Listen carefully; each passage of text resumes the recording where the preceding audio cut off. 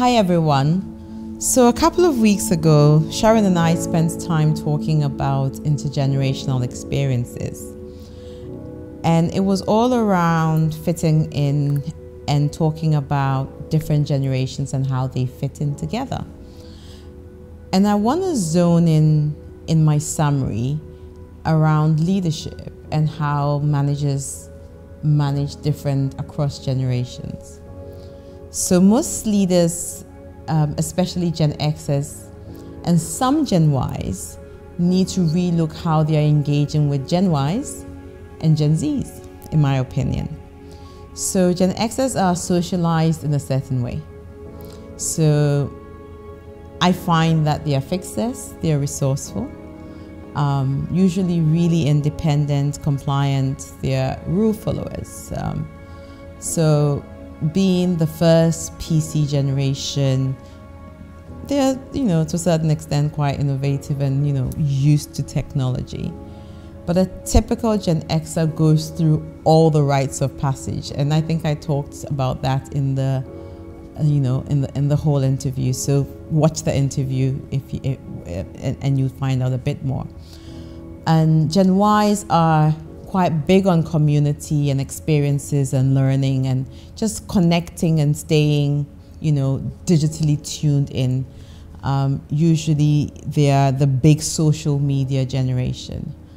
Um, and though there are quite a few, a lot of similarities between your Gen Y and your Gen Zs, I find that Gen Zs are a lot more individualistic and um, when I talk to my team, I always say that they're the king of boundaries. Um, and you know, the, the, there's quite a bit of a crossover between boundaries and rules. Um, and they're also prone to a lot of anxiety and fear and and, and they are they are the bunch that are very self-aware when it comes to mental health related um, matters, right? Uh, they also don't have the inhibitions that the older generations have. So, whereas my generation would want to keep a job, and we would, you know, we we we we we are bound, like Sharon said, we are bound by the the allure of a salary. They are not bound by the allure of a salary, and I would I would take a year off and go backpacking somewhere. Um, that would be a Gen Xer. As managers, it's important to understand that you can't manage a Gen, a Gen Z the same way you manage um, a Gen Xer or you would manage, you know, people within your, your own, you know, generation. And I want to kind of talk about my experience and some of the things I have seen. Money is a baseline. Money is really important to them. And money is not what you use to determine is, is not the reason they come to work or wake up to come to work. They need to be paid well, full stop. So, as an employer, you do need to be competitive. That's the first thing. Um, work is an experience. And so, the workplace needs to be offering them an opportunity to learn, it needs to be offering some level of community um, but also a huge amount of autonomy, right? So being able to do what's important to them. Um, and and it, it's also important that the workplace is somewhere they feel safe. Um, another thing is around work-life integration. So the jury's out on this, but there's a lot of a lot of conversation around do I work to live or do I live to work? But you, work needs to be integrated into their life because they are prioritizing their mental health, they're prioritizing their well being more. Um, and they will not put up with things that do not serve their needs. And so, as a manager, you need to be thinking about how you're structuring work in service of creating that balance in service of prioritizing the well being of your people. So, recognition is a big thing, right? Um, the days of the team doing work and a boss taking or a leader taking credit for it are, are, are long gone.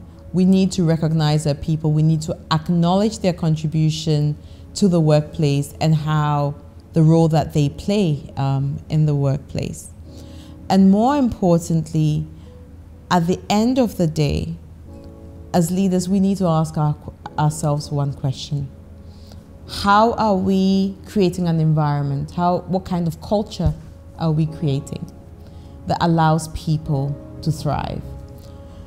Um, very often, we measure how well um, a place is doing by how long people stay with us. I think that's important.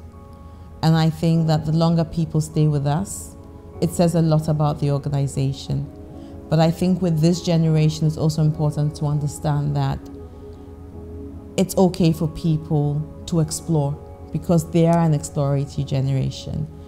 And so getting a couple of years out of someone and allowing them to have wings to go into something else and exploring another career or another opportunity and allowing them to learn something new is a good thing. And that's one of the mindset shifts that we need to have as leaders. That the fact that someone doesn't feel yoked to you indefinitely is a good thing. So, just food for thought um, that very different generations, very different mindsets.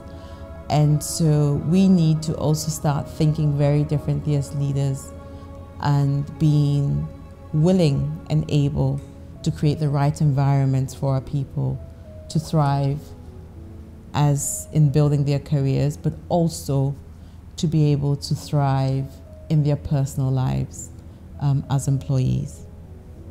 Thank you.